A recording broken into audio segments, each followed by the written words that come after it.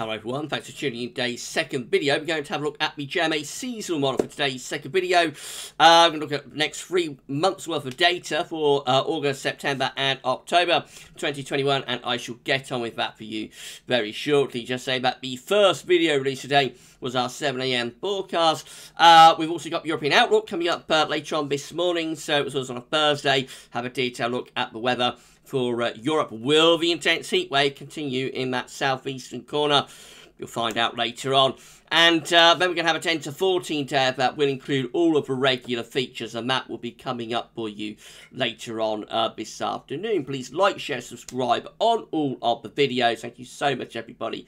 Dear Matt, I hope you're having a lovely uh, Thursday morning. Okay, so we're going to have a look at the JMA uh, season one. We'll start off with a Northern Hemispheric view down for the next three months, and then we'll have a look at the mid-latitude tropical view, and uh, we'll add on a little bit of detail.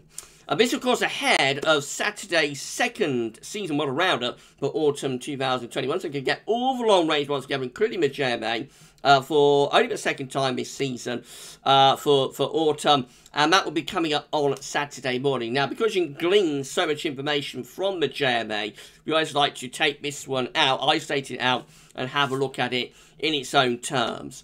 Um, you know, so so uh, that's what we do for this video. And then when, when we look at, you know, the season around it, you'll know uh, when we only just touch on like the three monthly anomaly, you'll know how it works out month by month because you don't have time to go through it all when we've got another 15 or so long range models uh, that go with it. Uh, right, okay, so uh, let's get on with it then. I'm going to start off with the uh, week one 500 millibar high only from the North Pole view down. Um, so this is uh, for August, of course. This is month number one. So if everything is working correctly, this should be the most uh, reliable part of the whole thing, really. So uh, with this, of course, uh, main case of blue is extrapolating to uh, below average heights, which is low pressure. Yellow, orange, and red extrapolate to above average heights, which is high pressure.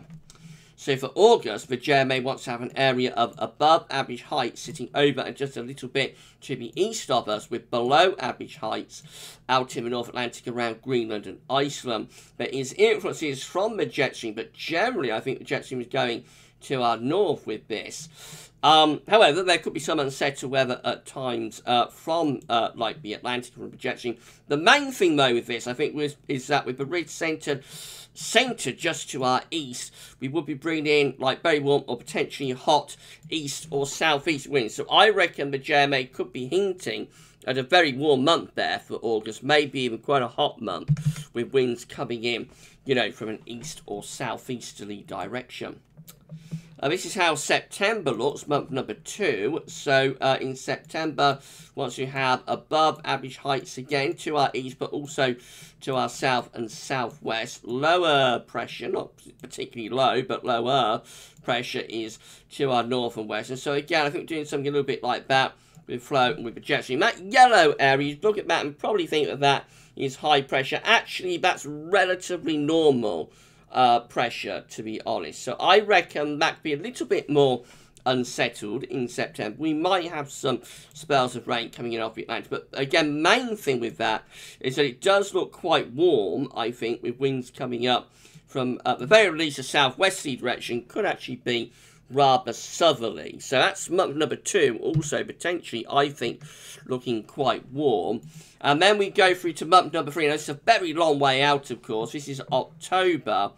And this one has below average heights, low pressure to our north, northeast, above average heights to uh, high pressure to our south and southwest. Uh, this is a little bit more unsettled, definitely, and possibly rather cooler as well, because I think with this, we could well be starting to line up the jet stream northwest to southeast, which means, you know, the way, but, but the high pressure in the Atlantic is, is around here, this low pressure is to our north northeast. I think we could bring in some cooler air from the northwest. So perhaps a rather cooler northwesterly month, but rather more unsettled as well in October. So months one, two, very warm, or warm anyway. Um, probably very warm for August and warm for September. Perhaps cooler for October. And becoming more unsettled as we progress through the uh, autumn, as I suppose you'd expect. That's my interpretation, but let's have a look at how it all stacks up in terms of the uh, tropical and uh, mid-latitude view. If you're enjoying this long-range look with the JMA seasonal model, then please can you like the video and subscribe to our channel. Thank you so much, everybody, uh, for doing that. Now, on this view, you can't see the North Pole and Greenland and the Arctic and Scandinavia. All those areas are off the chart up here. But have a look at that view down so we know what's happening. So we know that in August we have got low pressure actually to our northwest, but we've also got high pressure coming over here, sitting just to our east.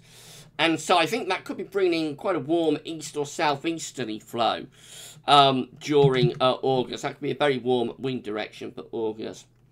So let's have a look at temperature anomaly then uh, for month number one in August. That's coming out above average, not excessively so. I would have thought this would be in the yellow, uh, yellows or oranges with like a southeasterly flow, but actually it's only ever so slightly uh, above average of the temperature anomaly in uh, in August.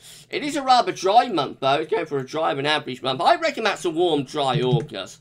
Uh, to be uh, to be honest, rounding off what has been, uh, you know, quite quite a warm, dry uh, summer in some areas, especially in the north. Um, it is rather different to what we're seeing in the shorter range model output. I have to say, this was generated on this model run. This season model run was generated on the first day of July. Um, so, so how seriously we take it, I don't know. Uh, but there we go, that's what the JMA uh, was forecasting. Uh, back at the beginning of July. Uh, is the main wind direction. The black arrow is always a little bit difficult to make out, but you can see if we come over here that they're coming in towards the UK from an east to southeasterly direction through here. You can see we're bringing in like southeasterlies to possibly slightly slight southerlies. I reckon if that comes off, that's a very warm August, but whether it will come off, uh, I'm a little bit too dubious about, given the short range model output that we're seeing at the moment. But there we go. That's what the JMA is forecasting for August. For September, uh, we look like this. So we have above average pressure, high pressure is to our south and also to our east as well. Lower pressure is through here. Could be a little bit more influence maybe from the jet stream. Let's have a look at temperature. And normally that's coming out slightly warmer than average uh, with the JMA during September, month number two. And it does definitely look more unsettled for the northern half of the country anyway. So in the north, it's rather wetter than average, but still a bit drier than average for England and Wales. Perhaps gradually transitioning into a more unsettled month. The jet stream is broadly westerly, actually, of a wind direction uh, broadly westerly with those black arrows coming in from the Atlantic into the UK, implying that, you know, very gradually as the month goes on, the, the ridge gets broken down, perhaps, and we go into a more unsettled autumnal type pattern.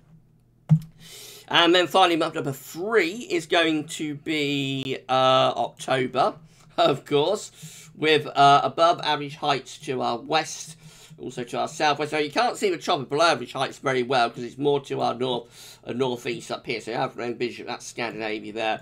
So between the ridge and the trough, we could be bringing the wind from more of a northwesterly direction, perhaps in October. The temperature anomaly is still holding up. Uh, you know, it's average to slightly above average in October. Uh, relatively dry again for England and Wales, a wetter month though uh, for Scotland. So unsettling in the north, dry in the south. And finally, the main wind direction is actually west to northwesterly, I think. So, so uh, you can see the black arrows again coming into the UK from the west. If we come over here, you can see there are northwesterlies sort of just to our east. So I think the wind direction is like west northwesterly um, which I think would be a rather cooler uh, wind direction, actually, despite the fact model doesn't show that. But I think it would be a rather cooler wind direction for October, and um, and and possibly a little bit more unsettled than that is indicating as well, to be honest.